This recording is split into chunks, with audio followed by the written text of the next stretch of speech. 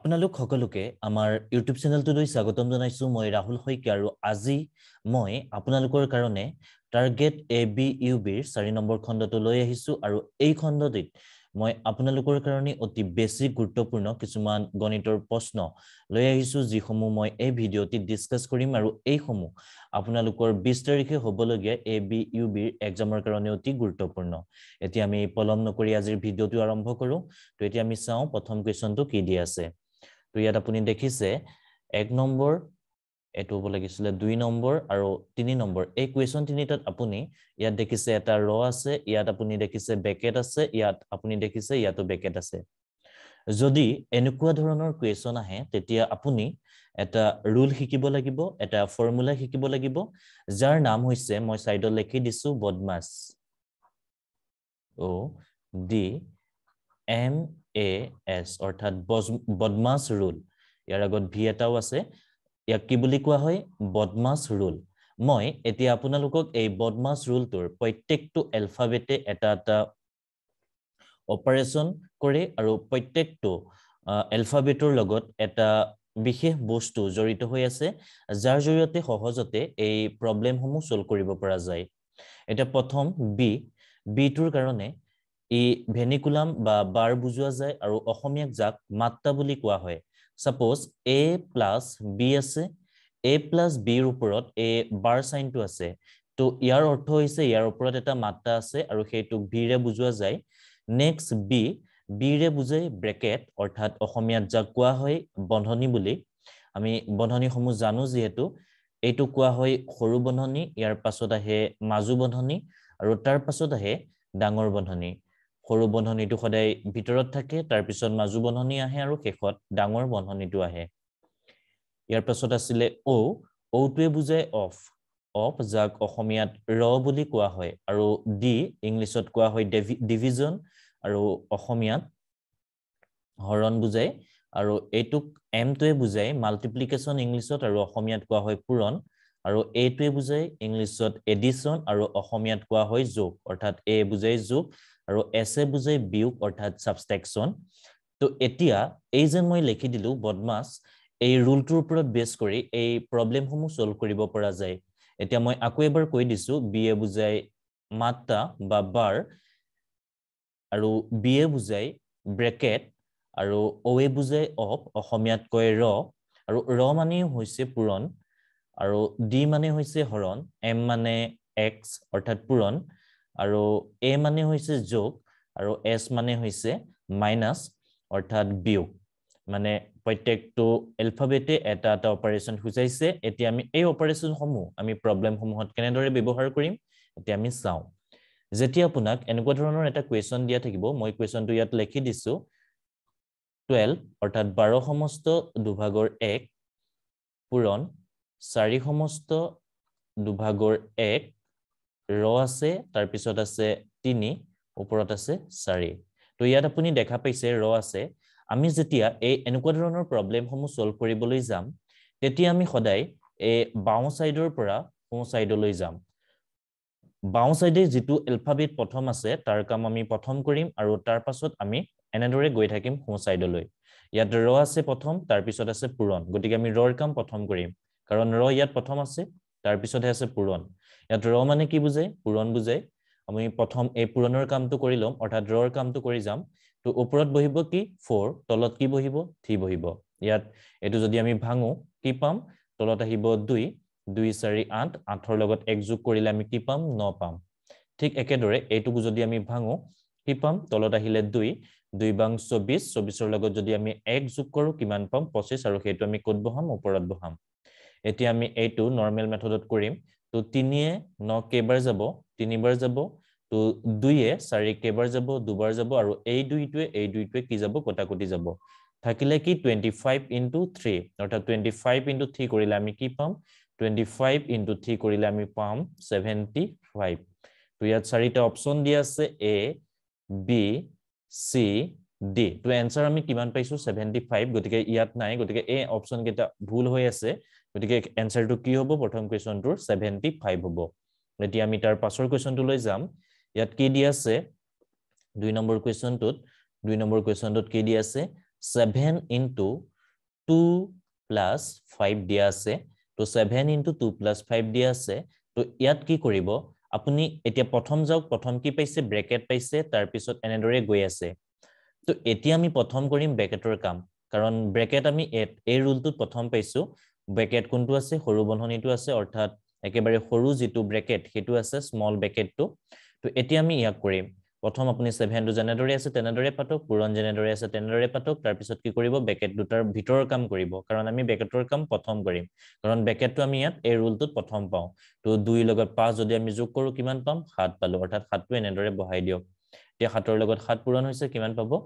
Forty nine পাছত দুয়ে সাত সাত বহিলে সাতৰ লগত সাতক পূৰণ কৰিলে কিমান পালে? ফৰ্টি নাইন প্ৰথম আপুনি বেকেটৰ কাম কৰিলে তাৰপিছত বেকেটৰ মানে বেকেটৰ কাম কৰোঁতে বেকেটৰ ভিতৰৰ কামটো আমি প্ৰথম কৰিম তাৰ পিছৰটোলৈ যাম।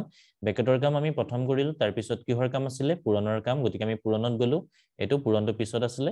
আনচাৰটো কিমান পালোঁ? ফৰ্টি নাইন ইয়াত অপশ্যন কোনটো কাৰেক্ট হ'ব? অপশ্যন এটো কাৰেক্ট হ'ব। ইয়াত কি দি আছে?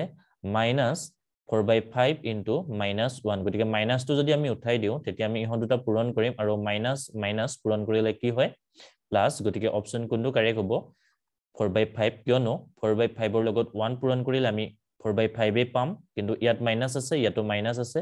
মাইনাছ আৰু মাইনাছ যদি আমি পূৰণ কৰোঁ তেতিয়া এনচাৰটো কি হ'ব? প্লাছ হ'ব। যদি মাইনাছ পূৰণ প্লাছ এনচাৰটো কি হ'ব? মাইনাছ হ'ব। যদি আপোনাক প্লাছ পূৰণ মাইনাছ দিয়ে তেতিয়া কি হ'ব? মাইনাছ হ'ব আৰু যদি প্লাছ পূৰণ প্লাছ তেতিয়া এনচাৰটো কি হ'ব? প্লাছ হ'ব। গতিকে ইয়াত কোনটো এপ্লাই হ'ল? প্ৰথমটো এপ্লাই হ'ল মাইনাছ ইনটু মাইনাছ অৰ্থাৎ বিয়োগ পূৰণ। বিয়োগ যদি থাকে তেতিয়া এনচাৰটো কি হ'ব? প্লাছত আহিব। গতিকে চাৰি পাঁচ ভাগৰ চাৰিৰ লগত যদি আমি ওৱান পূৰণ কৰিলোঁ দুইটাতে মাইনাছ আছিলে কাৰণে এইটো অপশ্যন এ টু কাৰেক্ট হ'ল। এতিয়া ইয়াৰ পাছৰ কুৱেশ্যনটোলৈ যাম। এইটো আমি বদমাছ ৰুলটো এপ্লাই কৰিম এইটোতো। তো প্ৰথম কি দি আছে? ওৱান বাই টেন আছে তাৰপিছত হৰণ আছে তাৰপিছত ওৱান বাই টু আছে প্লাছ ওৱান বাই টু আছে। গতিকে এক নম্বৰ কুৱেশ্যন অৰ্থাৎ এইটো এক নম্বৰ মানে চাৰি নম্বৰ কুৱেশ্যনটো। তো চাৰি নম্বৰ কুৱেশ্যনটোৰ এনেদৰে পতা আছে। গতিকে আমি বদমাছ ৰুলটোৰ পৰা এইটো প্ৰথম কাৰ কাম কৰিম? বেকেটৰ ভিতৰৰ কাম কৰিম। তো বেকেটৰ ভিতৰত কি আছে? এইটো আছে। গতিকে তলত আহিব কিমান? টু কাৰণ এল চি এম দুই আহিব। তো যদি তলৰ দুটা ছেম থাকে ওপৰৰ কেইটাকো আমি ডাইৰেক্ট যোগ কৰি দিলেই হয় ভগ্নাংশত। ওপৰত কিমান আহিব? ওপৰতো দুই আহিব। গতিকে আমি ব্ৰেকেটটো উঠাই দিলোঁ। ইয়াত আহিলে হৰণ ইয়াত আহিলে তলত দহ ওপৰত আহিলে এক। যেতিয়া এতিয়া আমি কাৰ কাম কৰিম? বেকেটৰ পিছত আছিলে হৰণৰ কাম। তো দহ ওৱান আহিলে হৰণটো আমি কি কৰিলোঁ পূৰণ হৈ যাব আৰু পূৰণ কৰিলে কি হৈ যাব? এই পিছৰ সংখ্যাকেইটা লুটি খাই যায়। কিন্তু এই দুটা ছেইম আছে গতিকে একেই বহিব। হৰণটো আমি পূৰণ কৰিলে পিছৰ সংখ্যাকেইটা লুটি খাই যায়। তো এতিয়া এই দুয়ে দুয়ে কাটিত খাই গ'ল কিমান হ'ব? ইয়াত ওৱান হ'ব। অৰ্থাৎ টেন বাই ওৱানৰ লগত যদি ওৱান পূৰণ কৰোঁ তো এনচাৰটো কিমান হ'ব? ওৱান বাই টেনেই হ'ব। এইটো টেন বাই ওৱান নহয় দহ ভাগৰ এক। মই কোৱাত ভুলকৈ ক'লোঁ। তো এতিয়া ইয়াৰ অপশ্যন কোনটো কাৰেক্ট হ'ব? অপশ্যন চি টু কাৰেক্ট হ'ব। এতিয়া পাঁচ নম্বৰ কুৱেশ্যনটোলৈ যাম। তো পাঁচ নম্বৰ কুৱেশ্যনটো অলপ বেলেগ ধৰণৰ অতি গুৰুত্বপূৰ্ণ কুৱেশ্যন আপোনালোকে গুৰুত্ব সহকাৰে চাওক আৰু গম পাব এনেকুৱা ধৰণৰ কুৱেশ্যন দিলে আপুনি সহজতে বা কম সময়ত কেনেদৰে কৰিব পাৰিব। এতিয়া আপুনি লাষ্টৰ ডিজিটকেইটা চাওক ইউনিট ডিজিটকেইটা ইউনিট ডিজিটকেইটা এতিয়া পূৰণ কৰি দিয়ক কাৰণ ইয়াত পূৰণ আছে। তো তিনি সাত কিমান হ'ব? একৈছ গতিকে একৈছৰ এক বহাওক। গতিকে আপুনি এতিয়া অপশ্যনকেইটাত চাওক এ বি চি ডি অপশ্যনকেইটাত লাষ্টত কোনটো ওৱান আছে? এইটোত আছে। গতিকে আমি গম পালোঁ কাৰেক্ট হ'ব অকল এ অপশ্যনটোৱে কাৰেক্ট হ'ব। এতিয়া আপুনি প্ৰথমটো চাব পাৰে প্ৰথম সংখ্যাকেইটাও পূৰণ কৰক তিনি দুগুণ ছয় অৰ্থাৎ ফাৰ্ষ্টটোত ছয় আহিব লাষ্টটোত ওৱান আহিব। গতিকে এইটোত ফাৰ্ষ্টটোত ছয় আছে লাষ্টৰটোত ওৱান আছে। আপুনি এতিয়া আৰু এটা এপ্লাই কৰি চাব পাৰে ইয়াত দুটাৰ আগত দশমিক আছে ইয়াত তিনিটাৰ আগত দশমিক আছে। গতিকে যিটো সংখ্যা ওলাব বা যিটো এনচাৰ ওলাব তাৰ পাঁচটাৰ আগত থাকিব কাৰণ ইয়াত দুটা আছে ইয়াত তিনিটা আছে। তিনি দুয়ে পাঁচটা আগত দশমিক বহিব। ইয়াত কেইটাৰ আগত আছে? এটা দুটা তিনিটা চাৰিটা পাঁচটা পাঁচটাৰ আগতে আছে। গতিকে অপশ্যন এটো কাৰেক্ট হ'ব। আমি এনেদৰে ব্ৰেক কেলকুলেশ্যনো কৰিব পাৰোঁ। এতিয়া ছয় নম্বৰ কুৱেশ্যনটো দিছে এক অনুপাত দুই তিনি অনুপাত চাৰি পাঁচ অনুপাত ছয় মিশ্ৰ অনুপাত কি হ'ব সুধিছে? তো মিশ্ৰ অনুপাত উলিয়াব দিলে এই অনুপাতকেইটা আপুনি পূৰণ কৰি দিয়ক। এনেদৰে পূৰণ কৰিব। ওপৰত ওৱান তলত দুই তাৰপিছত পূৰণ হ'ব ওপৰত থ্ৰী তলত ফ'ৰ তাৰপিছত পূৰণ হ'ব ওপৰত পাঁচ আৰু তলত ছয়। এতিয়া তিনিয়ে ছয় কেইবাৰ যাব দুবাৰ যাব। তলত কিমান হ'ব? দুই চাৰি আঠ। তিনিয়ে ছয় দুবাৰ গ'ল দুই দুগুণ চাৰি দুই দুগুণ চাৰি চাৰি চাৰি ষোল্ল। অৰ্থাৎ ষোল্ল আহিলে ওপৰত কিমান আহিলে? পাঁচ আহিলে। অপশ্যন কোনটো কাৰেক্ট অপশ্যন এটো কাৰেক্ট গতিকে মিক্স ভং বা মিশ্ৰ অনুপাত মিশ্ৰ ভগ্নাংশ নহয়। তো মিশ্ৰ অনুপাত যদি আপোনাক উলিয়াব দিয়ে তো কি কৰিব? যিমানকেইটা অনুপাত দিয়া থাকে সেই অনুপাতকেইটা পূৰণ কৰি দিব। এতিয়া ইয়াত কৈছে ফ'ৰ ইজ টু ফাইভৰ সমতুল্য অনুপাত হ'ল। যদি সমতুল্য অনুপাত দি উলিয়াব কয় বা সোধে তেতিয়া আপুনি কি কৰিব? অপশ্যন গীটাৰ পৰা আপুনি উলিয়াব লাগিব। এইটো অপশ্যন এ অপশ্যন গীটাৰ পৰা এই এনচাৰটো বা এই কুৱেশ্যনটো উলিয়াব লাগিব। তো অপশ্যন প্ৰথমটো চাওঁ আমি। প্ৰথমটো দিয়া আছে আন অনুপাত দহ গতিকে আঠ অনুপাত দহটো আমি ভগ্নাংশত এনেদৰে লিখিব পাৰোঁ। দহ ভাগৰ আঠ গতিকে ইয়াক যদি আমি কটাকটি কৰোঁ তলৰটোক দুয়ে পাঁচবাৰ যাব ওপৰটোক দুয়ে চাৰিবাৰ যাব। গতিকে ইয়াৰ সমান কি হ'ব? ইয়াত ফাইভ ইয়াত চাৰি। গতিকে আমি এনচাৰটো পায়ে গ'লো বাকীকেইটা নাচাওঁ। কাৰণ ফ'ৰ ইজ টু ফাইভ আছিলে গতিকে এইটোকে আমি ভগ্নাংশটো ফ'ৰ ইজ টু ফাইভত লিখিব পাৰোঁ। অপশ্যন কোনটো কাৰেক্ট হ'ব তেতিয়াহ'লে এইটো কাৰেক্ট হ'ব। ইয়াৰ পাছত আৰু এটা কুৱেশ্যন দিয়া আছে আঠ নম্বৰ কুৱেশ্যনটো দুই কেজি আৰু ত্ৰিছ এইটো কেজিয়ে হ'ব কেজিত আছে যেতিয়া দুই কেজি আৰু ত্ৰিছ কেজি এণ্ড চাৰি লিটাৰ আৰু ষাঠি লিটাৰৰ সমানুপাতত আছেনে আমাক সুধিছে ইহঁতি। এইটো টাৰ্ম আৰু এইটো ৰেচিঅ' সমানুপাতত আছেনে আমাক সুধিছে। যদি সমানুপাতত আছেনে আমি চাব যাওঁ তেতিয়া কি কৰিম? ওপৰত দুই তলত ত্ৰিছ দিছ ইজ ইকুৱেল টু আমি প্ৰুভ কৰিব লাগে ফ'ৰ টেন আমি অনুপাতত থাকিলে এনেদৰে বহাব পাৰোঁ। অঁ এইটো ছিক্সটি আছে। গতিকে এইটো ইকুৱেল টু এইটো হয়নে নহয় আমি চাব লাগে। যদি হয় তেতিয়া আমি গম পাম সমানুপাতত আছে। এতিয়া ওপৰটোক আপুনি দুই একাটক এবাৰ গ'ল। তলৰটোক দুই একাটক কেইবাৰ যাব পোন্ধৰবাৰ যাব। ঠিক একেদৰে ইয়াক দুই একাটক কেইবাৰ যাব। ইয়াক চাৰিয়ে যাব তলৰটোকো চাৰিয়ে তলৰটোকো চাৰিয়ে যায় ওপৰটোকো চাৰিয়ে যায় চাৰিয়ে এবাৰ গ'ল ইয়াত কেইবাৰ যাব চাৰি পোন্ধৰ ষাঠি। অৰ্থাৎ আমি দুইটা চাইডে এইটো চাইডেও পালো পোন্ধৰ ভাগৰ এক আৰু এইটো চাইডেও পালো কিমান? পোন্ধৰ ভাগৰ এক। গতিকে দুইটা সমান যদি দুইটা সমান হয় অনুপাত তেতিয়া আমি কি লিখিব পাৰো? ইহঁতি সমানুপাতত আছে। এতিয়া আমি ইয়াৰ পাছৰ কুৱেশ্যনটোলৈ যাম। ইয়াৰ পাছৰ কুৱেশ্যনটোত কি দিয়া আছে? ন নম্বৰ কুৱেশ্যনটোত দিয়া আছে যদি এনেকুৱা এটা অনুপাত দিয়া থাকে তেন্তে ইয়াৰ ভেলুটো আমাক সুধিছে। তো আমি এনেকুৱা ধৰণৰ কুৱেশ্যন দিয়া থাকিলে কেনেদৰে কৰিম চাব। এক্স বাই ৱাইটোক আমি এনেদৰে লিখিব পাৰোঁ এক্স বা এক্স অনুপাত ৱাইটোক আমি এনেদৰে লিখিব পাৰোঁ ভগ্নাংশত x by y this is equal to কি হ'ব ওপৰত আহিব থ্ৰী আৰু তলত আহিব কিমান টু এতিয়া এক্সৰ ভেলু আমি ইয়াত কি বুলি ধৰিম টু বুলি ধৰিম আৰু ৱাইৰ ভেলু আমি এক্সৰ ভেলু আমি থ্ৰী বুলি ধৰিম। আৰু ৱাইল ৱাইৰ ভেলু আমি টু বুলি ধৰিম। মই আকৌ কৈছোঁ এনেকুৱা ধৰণৰ যেতিয়া প্ৰব্লেম এটা দিয়া থাকিব তেতিয়া আপুনি এইটো ভগ্নাংশত লিখি ল'ব আৰু এক্সৰ ভেলু কি বুলি ধৰিব ওপৰতো অৰ্থাৎ তিনি বুলি আৰু ৱাইৰ ভেলু তলৰটো ধৰিব দুই বুলি। এতিয়া আপুনি এইটো অনুপাতত পাতক এইটো এই অনুপাতটো ভগ্নাংশত পাতক। এইটো ভগ্নাংশত পাতিলে আমি কেনেদৰে লিখিম? এইটো যদি ভগ্নাংশ লিখ পাতো আমি এনেদৰে পাতিম। Four x minus twice y আৰু তলত কি হ'ব? এক্স প্লাছ ৱাই গতিকে আমি এক্সৰ ভেলু কিমান ল'ম বুলি কৈছিলোঁ? তিনি ল'ম ইয়াত বহাই দিয়ক এক্সৰ জেগাত আৰু ৱাইৰ ভেলু আমি কিমান ল'ম? দুই ল'ম তো দুইটো ইয়াত বহাই দিয়ক। এতিয়া ফ'ৰ জেগাত আৰু ফ'ৰৰ পাছত এক্স আছে গতিকে এক্সৰ জেগাত আমি কি বহাম? তিনি বহাম। মাইনাছ টু ৱাইৰ জেগাত কি বহাম? ৱাইৰ জেগাত বহাম টু তো এইটো যদি আমি চল্ভ কৰোঁ কিমান পাম? তিনি চাৰি বাৰ মাইনাছ দুই দুগুণ চাৰি তলত তিনি দুয়ে পাঁচ তো এনচাৰটো কিমান হ'ব? তলত আহিলে ফাইভ ওপৰত বাৰৰ পৰা চাৰি গ'লে কিমান থাকিব? আঠ থাকিব। গতিকে অপশ্যন কোনটো কাৰেক্ট হ'ব? এই অপশ্যনটো কাৰেক্ট হ'ব। আঠ অনুপাত পাঁচ ইয়াৰ এনচাৰটো হ'ব। এতিয়া আমি ইয়াৰ পাছৰটোলৈ যাম। এটা বৰ্গৰ বাহুৰ জোখ পঁচিছ চেণ্টিমিটাৰ হ'লে কালি কিমান হ'ব সুধিছে? তো ছাপ'জ এইটো এটা বৰ্গ।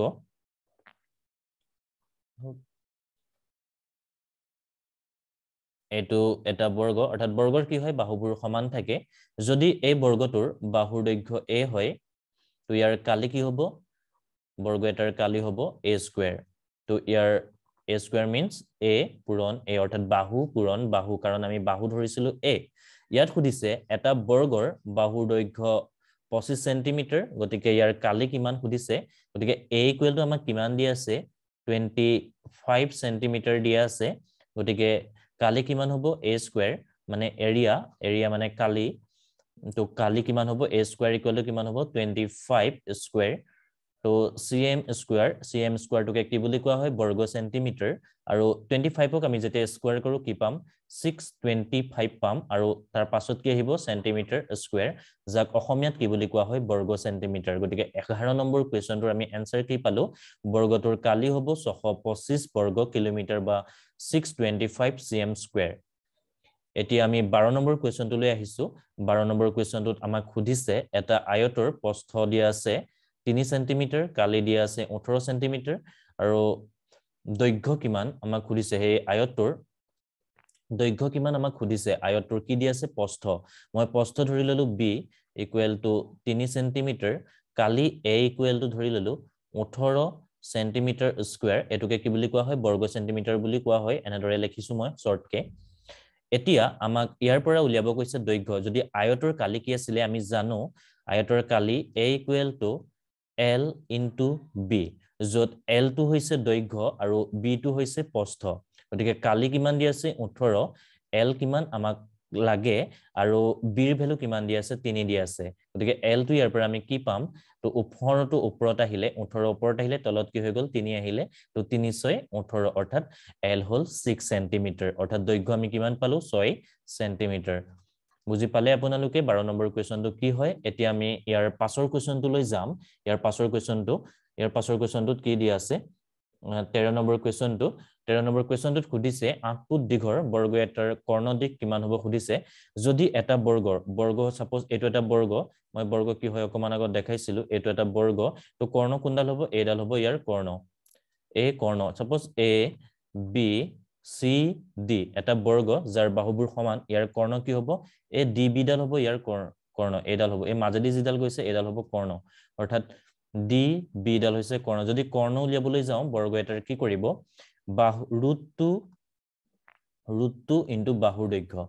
বাহুৰ দৈৰ্ঘ্য ইনটু ৰুটটো বাহুৰ দৈৰ্ঘ্য মই এ বুলি ধৰি ললো প্ৰত্যেকটো বাহুৰ দৈৰ্ঘ্য এ আৰু কৰ্ণৰ কি হ'ব তাৰ পৰা? ৰুটটো এ ৰুটটোৰ লগত অৰ্থাৎ বাহুৰ দৈৰ্ঘ্যটো পূৰণ কৰিলে আমি কি পাম? কৰ্ণৰ দৈৰ্ঘ্যটো পাম। ডি বি ইয়াত কি হৈছে? কৰ্ণ। গতিকে ইয়াত আঠ ফুট দীঘৰ বৰ্গ এটাৰ কৰ্ণৰ দিশ কিমান হ'ব সুধিছে? গতিকে ইয়াত বাহুৰ দৈৰ্ঘ্য আছিলে এ কিন্তু এতিয়া ইয়াত দিয়া আছে বাহুৰ দৈৰ্ঘ্য আঠ ফুট গতিকে এইট ৰুট টু কি হ'ব? ফুট হ'ব। গম পালে? তো বাহুৰ দৈৰ্ঘ্য কিমান হ'ব? Eight root two foot. এতিয়া আমি যাম তাৰ পাছৰ কুৱেশ্যনটো চৈধ্য নম্বৰ কুৱেশ্যনটোত। চৈধ্য নম্বৰ কুৱেশ্যনটোত কি দি আছে?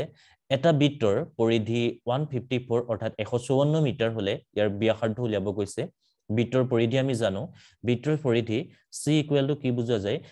আৰু কালি পৰিধি পৰিসীমা ইয়াৰ ওপৰত মই ভিডিঅ' আপলোড কৰিছিলোঁ। আপোনালোকে যদি চোৱা নাই প্লে লিষ্টত গৈ চাই যাব চাই ল'ব। একেবাৰে সহজতে বুজি পাব। একেবাৰে চিম্পলকে মই বুজাই থোৱা আছে তাত। তো এতিয়া আমি এই কুৱেশ্যনটো চাওঁ কেনেদৰে চল্ভ কৰা হয়। বৃদ্ধ এটাৰ যদি পৰিধি দিয়া থাকে তো পৰিধি মানে কিমান আমি জানো? টুৱাইচ পাই আৰ তো য'ত আৰটো হৈছে ব্যাসাৰ্ধ।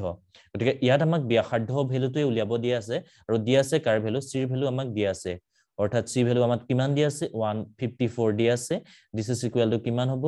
টু পাই আৰ। গতিকে আমাক ভেলু লাগে কাৰ? আৰ লাগে। গতিকে আৰটো আমি এটা চাইডে ৰাখি দিলোঁ। টুৱাইচ পাইটো যদি আমি এইটো চাইডে লৈ আহোঁ ক'ত আহিব? তলত আহিব। ওপৰত কিমান আছে? Two fifty four. Two fifty four নহয় ওৱান ফিফটি ফ'ৰ আছে ওপৰত আৰু তলত কিমান পালোঁ আমি? টুৱাইচ পাই। এতিয়া কি কৰিব আপুনি? এই দুইটোৱে ওৱান ফিফটি ফ'ৰৰ কাটক কিমান যাব? দুই সাত চৈধ্য আৰু এইফালে কিমান গ'ল? এক এটা কেৰি গ'ল চৈধ্য হ'ল দুই সাত চৈধ্য। অৰ্থাৎ তলত থাকিলে পাই আৰু ওপৰত থাকিলে কিমান? Seventy seven. ইয়াত পাইৰ ভেলুটো আমি জানো পাইৰ ভেলু কিমান? সাত ভাগৰ বাইছ। পাইৰ ভেলু হৈছে সাত ভাগৰ বাইছ। এতিয়া সাত ভাগৰ বাইছটো আমি ইয়াত পুট কৰি দিম। তো তলত কিমান হ'ব? সাত ভাগৰ বাইছ। ওপৰত কিমান হ'ব? Twenty two. যেতিয়া আমি এই এনেদৰে লেখোঁ এইটো সদায় ওলটি যায়। ওপৰত থাকিব টুৱেণ্টি টু। ওপৰত টুৱেণ্টি টু নহয় এইটো ছেভেণ্টি ছেভেন ইয়াত যিহেতু ছেভেণ্টি ছেভেন আছে এইটোহে সাত ভাগৰ বাইছ গতিকে ডিচ ইজ ইকুৱেল টু কিমান হ'ব? ছেভেণ্টি ছেভেন ইনটু তোমাৰ এইটো উলটি যাব যেতিয়া আমি পূৰণ কৰি দিম এইটো হৰণ হৈ আছে তলত থকা মিনছ হৰণ হৈ আছে যেতিয়া আমি পূৰণ কৰি দিম এই সংখ্যাকেইটা উলটি যাব। তো ওপৰত কি হ'ব? ছেভেন তলত কিমান আহিব? টুৱেণ্টি টু এতিয়া কি কৰক আপুনি ছেভেণ্টি ছেভেনকো এঘাৰই যায় আৰু টুৱেণ্টি টুকো এঘাৰই যায়। গতিকে এঘাৰই কাটক ইয়াক কেইবাৰ যাব? দুবাৰ যাব আৰু ছেভেণ্টি ছেভেনক কেইবাৰ যাব? সাতবাৰ যাব। গতিকে দিছ ইজ ইকুৱেল টু কিমান হ'ব? ওপৰত কিমান হ'ব? সাত সাত গুণ কিমান? ঊনপঞ্চাছ আৰু তলত কিমান আহিব? দুই আহিব। তো দুয়ে যদি আমি ফৰ্টি নাইনক কৰোঁ কিমান পাম? টুৱেণ্টি ফ'ৰ পইণ্ট ফাইভ অৰ্থাৎ twenty four point five centimetre আমি কেনেকৈ পালোঁ আপোনালোকে দেখিলে? অৰ্থাৎ ইয়াৰ কাৰেক্ট এনচাৰ কোনটো হ'ব? অপশ্যন এইটো হ'ব। মই আকৌ কৈ দিছোঁ যদি বিটো এটাৰ পৰিধি দিয়া থাকে ইয়াৰ ব্যাসাৰ্ধ উলিয়াব কয় তো ফৰ্মুলা ইউজ কৰিব এইটো C equal to twice pi R আৰু তাত আপুনি চিৰ জেগাত ওৱান ফিফটি ফ'ৰ বহাই দিয়ক কাৰণ চি মানে হৈছে পৰিধি আৰু যিটো আমাক দিয়া আছিলে বৃত্তটোৰ তাৰপিছত চল্ভ কৰক পাই ইকুৱেল টু এইটো ভেলু মনত ৰাখিব সদায়। আপোনাৰ বিভিন্ন প্ৰব্লেম চল্ভ কৰোঁতে এই ভেলুটো বহুত প্ৰয়োজন হয়। আৰু তাৰপিছত আমি যেতিয়া চল্ভ কৰিলোঁ এনচাৰ কি পালোঁ? টুৱেণ্টি ফ'ৰ পইণ্ট ফাইভ এতিয়া আমি পোন্ধৰ নম্বৰ কুৱেশ্যনটোলৈ যাম।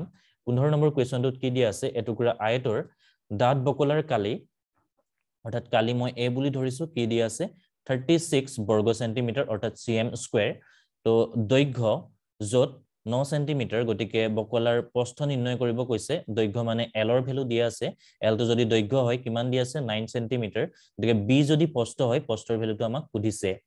গতিকে ইয়াত আয়তাকাৰ বকলা বুলি কৈছে। আয়তাকাৰ বকলা হলে এ ইকুৱেলটো কিমান হ'ব? এ ইকুৱেলটো হ'ব আপোনাৰ এল ইনটু বি য'ত এৰ ভেলু কিমান দি আছে? থাৰ্টি ছিক্স আৰু এলৰ ভেলু কিমান দি আছে? নাইন আৰু বিৰ ভেলু আমি উলিয়াব লাগে। তো এতিয়া কি কৰক বিটো এটা চাইডে ৰাখি নটো এটা চাইডে আনিলে কি হ'ব নটো তলত আহিব ওপৰত কিমান হ'ব থাৰ্টি ছিক্স তো চাৰিবাৰ যাব চাৰি নং ছয়ত্ৰিছ অৰ্থাৎ ফ'ৰ চেণ্টিমিটাৰ হ'ব। তো ইয়াৰ এনচাৰ কোনটো কাৰেক্ট হ'ব? অপশ্যন এটো কাৰেক্ট হ'ব। একেবাৰে সহজ কুৱেশ্যন বুজি পালে মই কেনেদৰে কৰিলোঁ? ইয়াৰ পাছত আমি যাম ষোল্ল নম্বৰ কুৱেশ্যনটোলৈ ষোল্ল নম্বৰ কুৱেশ্যনটো এটা নতুন কুৱেশ্যন আপোনালোকৰ কাৰণে লৈ আহিছোঁ।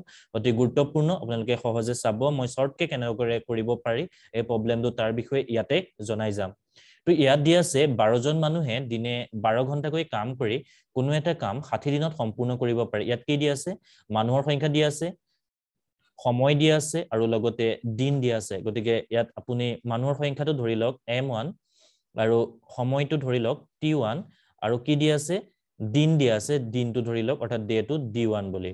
ঠিক একেদৰে ইয়াতো কি দি আছে? দিনে দহ ঘণ্টাকৈ কাম কৰি কৰি আশী দিনত কিমানজন মানুহে কামটো সম্পূৰ্ণ কৰিব পাৰে? তো এইটো চাইডো আছে এমটো মানুহৰ কথা আছে আৰু লগতে সময়ৰ কথা আছে আৰু লগতে দিনৰ কথাও আছে ডিটো বুলি ধৰি লওক। ইহঁত গোটেইকেইটা পূৰণ কৰি দিয়ক। ইয়াতো পূৰণ কৰি দিয়ক।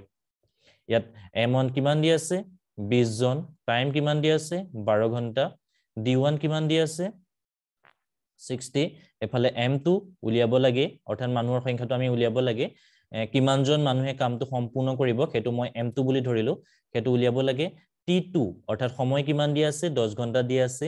ডি টু অৰ্থাৎ দিন কিমান দি আছে? আশী দি আছে।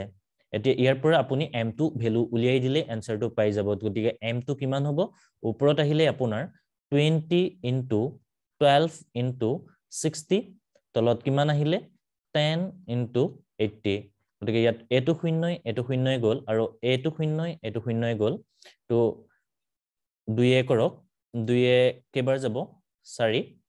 দুয়ে চাৰিবাৰ গ'ল এইটো দুই গ'ল। চাৰিয়ে ইয়াক কেইবাৰ যাব? তিনিবাৰ যাব। থাকিলে কিমান? থ্ৰী ইণ্টু ছিক্স অৰ্থাৎ তিনি পূৰণ ছয়। তিনি ছয় কিমান হ'ব? ওঠৰ হ'ব। মই আকৌ কৈ দিছোঁ যদি এনেকুৱা ধৰণৰ কুৱেশ্যন এটা দিয়া আছে তো এই ফৰ্মুলাটো আপোনালোকে ইউজ কৰিব আৰু এইটো আপোনালোকে মনত ৰাখি ল'ব কাৰণ এই কুৱেশ্যনটো বহুত গুৰুত্বপূৰ্ণ হয়। আপুনি কম সময়ত এই ফৰ্মুলাটো ইউজ কৰি পেলাই আপুনি এনচাৰটো উলিয়াব পাৰিব। প্ৰথমতে কিমান দিয়া আছে বিশজন মানুহে দিনে বাৰ ঘণ্টাকৈ কাম কৰিলে কোনো এটা কাম ষাঠি দিনত সম্পূৰ্ণ কৰিব পাৰে। গতিকে মানুহ কিমান আছিলে? বিশজন ইয়াত বহালোঁ। সময় কিমান? বাৰ ঘণ্টা ইয়াত বহালোঁ। কিমান দিন লাগে? ষাঠি দিন ইয়াত বহালোঁ। ঠিক একেদৰে দিনে দহ ঘণ্টাকৈ কাম কৰিলে আশী দিনত কিমানজন মানুহে কামটো পূৰ্ণ কৰিব পাৰিব? গতিকে মানুহৰ সংখ্যাটো উলিয়াব লাগে গতিকে মই এমটোৱে বহাই দিলোঁ। সময় দহ ঘণ্টাকৈ কাম কৰিলে সুধিছে দহ ঘণ্টাটো ইয়াত বহাই দিলোঁ। কিমান? আশী দিনত। আশী দিনত টো দিয়া আছিলে গতিকে মই আশীটো ইয়াত বহাই দিলোঁ। আমাক কিমানজন মানুহে সম্পূৰ্ণ কৰিব সুধিছিলে এমটোতো মই এনেদৰে বহাই দিলোঁ। তাৰপিছত আমি এমটোৰ ভেলু উলিয়াই উলিয়াই দিলোঁগৈ। গতিকে আমি এমটো কিমান পালোঁ? ওঠৰ। অৰ্থাৎ ওঠৰ দিনত সেই কামটো সম্পূৰ্ণ কৰিব পাৰিব। দহ ঘণ্টাকৈ কাম কৰি আশী দিনত এই ওঠৰজন মানুহে এই কামটো সম্পূৰ্ণ কৰিব পাৰিব। অৰ্থাৎ ষোল্ল নম্বৰ কুৱেশ্যনটো মই বুজাই দিলোঁ আপোনালোকক। হয়তো আপোনালোকে বুজি পাইছে আপোনালোকে জনাব আপোনালোকে কেনেকুৱা পালে এই কুৱেশ্যনটোৰ টিক্সটো শিকি। ইয়াৰ পাছত আমি যাম সোতৰ নম্বৰ কুৱেশ্যনটোলৈ এই সোতৰ নম্বৰ কুৱেশ্যনটোতো সুধিছে কোনো এটা কাম বাৰ দিনত শেষ কৰিবলৈ পোন্ধৰজন বনোৱা লাগে। ওঠৰজন বনুৱাই কামটো কেইদিনত কৰিব পাৰিব? ইয়াত কি দি আছে? দে ডি ওৱান পোন্ধৰজন মানুহে অৰ্থাৎ মানুহৰ সংখ্যা দিয়া আছে।